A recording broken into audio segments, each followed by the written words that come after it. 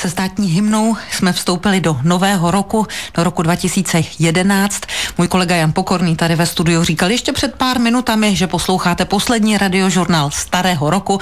Já tady teď mohu konstatovat, že posloucháte první radiožurnál roku nového, že vás tedy neopustíme ani po půlnoci.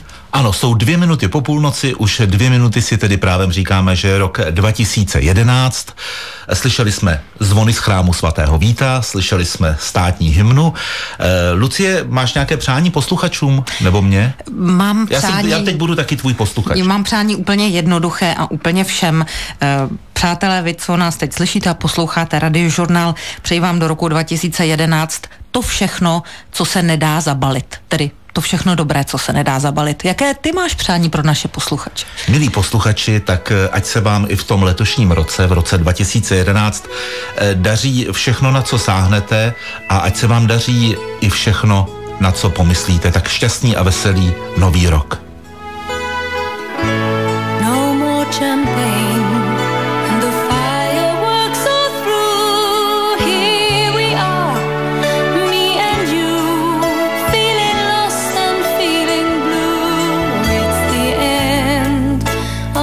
Body and the morning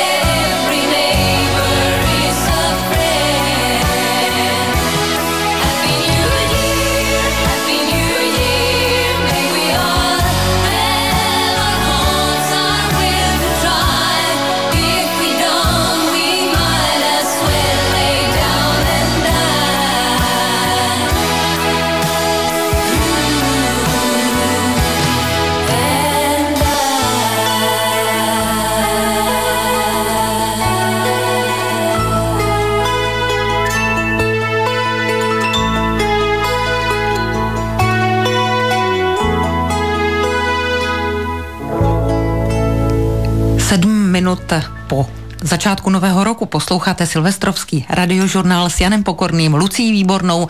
Teď bych klidně mohla parafrázovat druhou část naší staré hymny nad Prahou sa blízka, když se tedy podívám z toho jednoho okna, které tady máme a díváme se přímo do centra na Václavské náměstí a tam někde v epicentru by se měl pohybovat i reportér Jiří Kokmotos, tak schválně, jestli něco uslyšíme. Centra. Jiří, slyšíme se? Ano, dobrý večer. My teda nejsme na Václavském náměstí, protože tam bychom se neslyšeli. My jsme si vybrali lepší místo.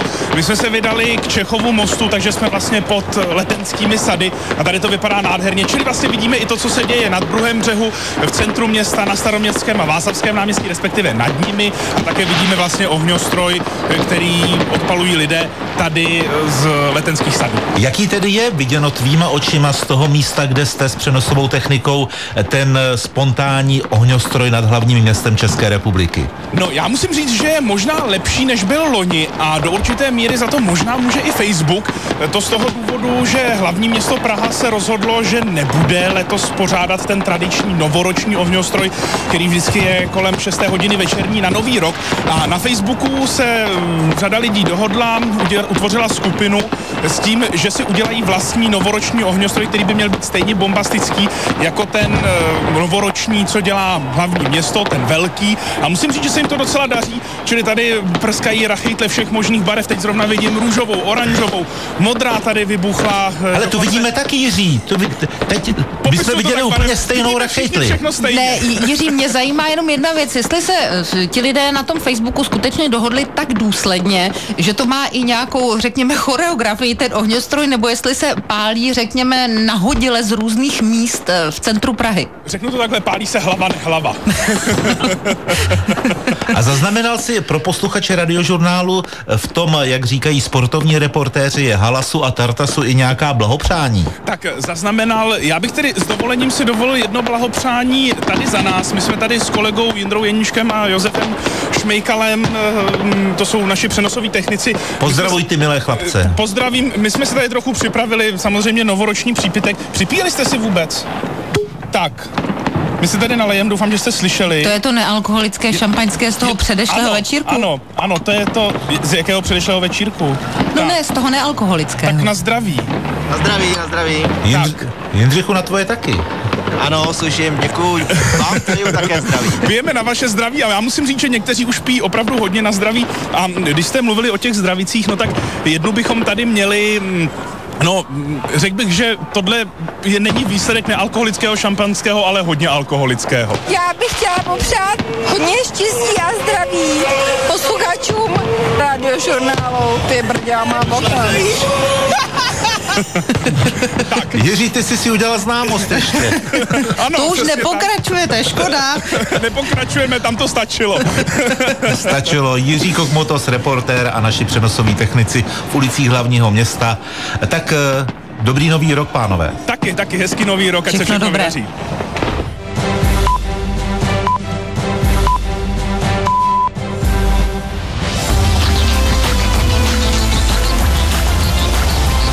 Radiožurnál Zprávy. Byla jedna hodina. V Praze i Kladně slavili lidé příchod nového roku v poklidu. Ode dneška předsedají Evropské unii Maďaři. Do nového roku vstoupíme s oblačnou až zataženou oblohou. Zítřejší teploty od minus dvou do dvou. Jsou tu zprávy s Markétou Bartošovou. Centrum Prahy zažilo letos klidný Silvestr. Do metropole dorazilo výrazně méně lidí než loni. Oslavy sledujeme s naším reportérem Jiřím Kokmotosem. Dobré, velmi brzké ráno. Dobré ráno, zdravím. Jak zvládá nápor lidí pražská doprava? No tak lidé už se teď pomalu rozcházejí do svých domovů, vzhledem k tomu, že oblast v okolí Václavského a Staroměstského náměstí je až do 10 hodin dopoledne uzavřená, tak nemá cenu sem jezdit autem. Hlavní město se na to dobře připravilo, poslední vlaky metra vyjíždějí z konečných právě teď a noční tramvaje mají interval pouhých 15 minut. Podle dispečinků taxislužeb se daří lidi rozvážet s maximální čekací dobou 10 minut na vůz. I proto, že řada lidí se rozhodla slavit až do rána, tak i teď stále nad Prahou bouchají ohňostroje. Z centra Prahy přeje hezký nový rok Jiří Kokmotos. A z Prahy se přesuneme do středních Čech. Ty zažívají jednu z nejklidnějších silvestrovských nocí za posledních několik let. V Kladně máme kolegu Pavla Pavlase. Dobrý večer, Pavle. Jak se slavilo tam? Hezký večer. Situace v Kladně je podle zdejších strážníků, kterých právě jsem poměrně klidná. V restauracích tráví dnešní noc o mnoho méně lidí, méně jich se pohybuje i na kladenských ulicích.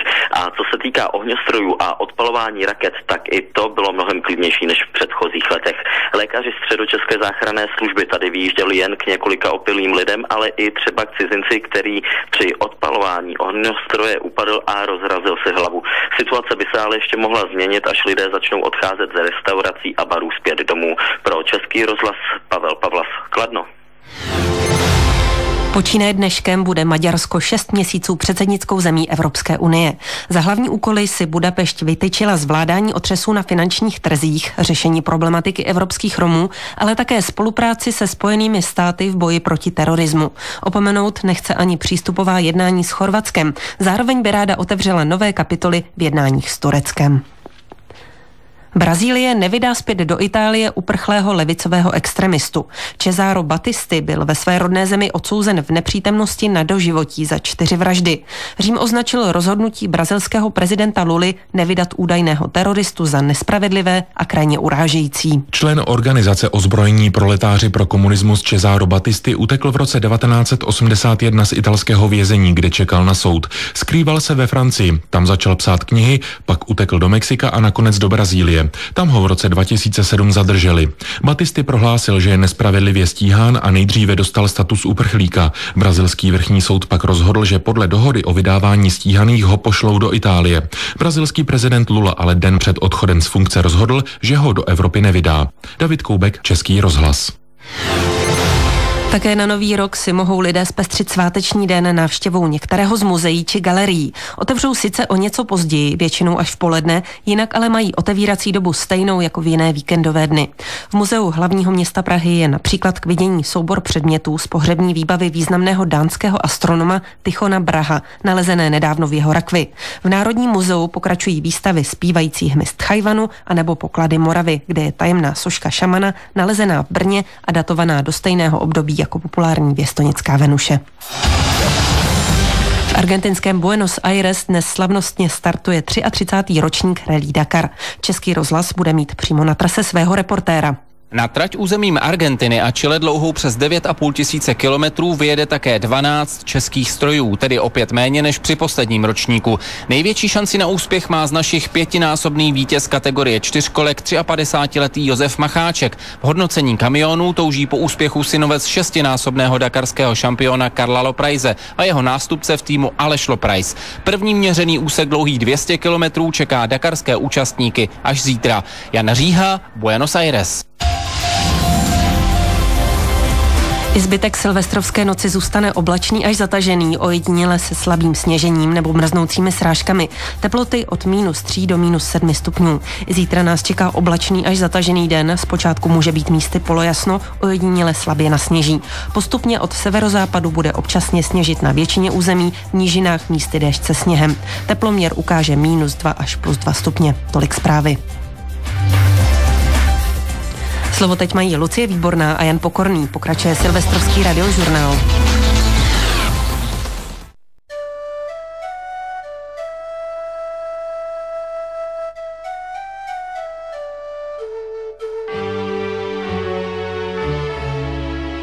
Frema TV. S námi vaše důležité okamžiky nevyvlednou.